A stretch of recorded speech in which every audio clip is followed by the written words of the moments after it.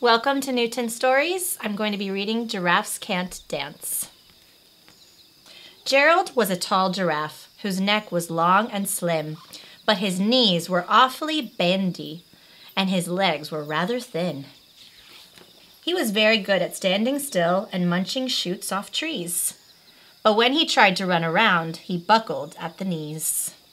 Now, every year in Africa, they hold the jungle dance, where every single animal turns up to skip and prance. And this year, when the day arrived, poor Gerald felt so sad, because when it came to dancing, he was really very bad. The warthogs started waltzing, and the rhinos rocked and rolled.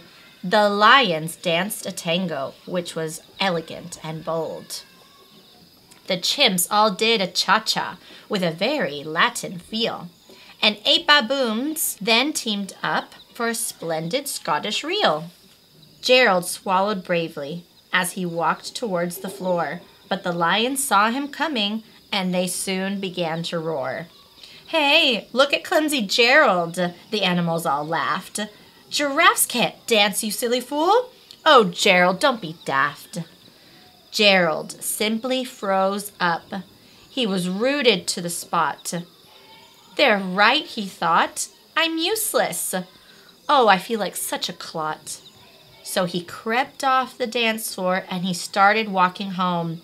He'd never felt so sad before, so sad and so alone.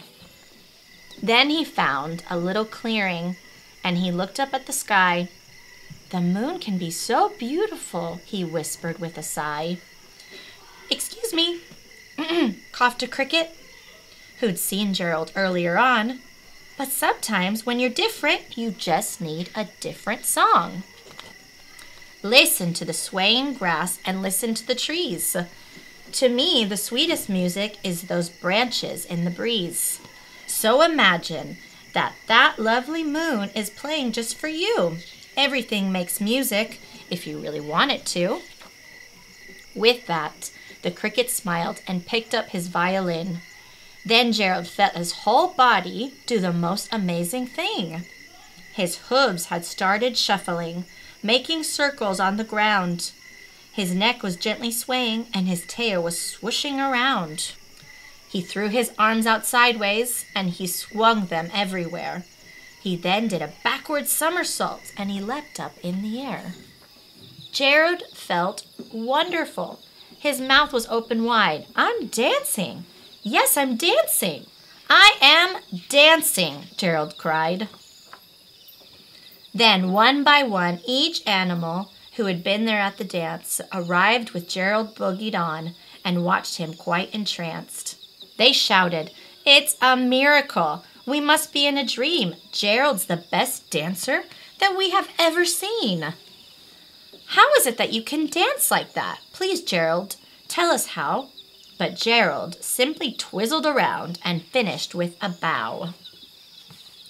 Then he raised his head and looked up at the moon and the stars above. We all can dance, he said, when we find music that we love.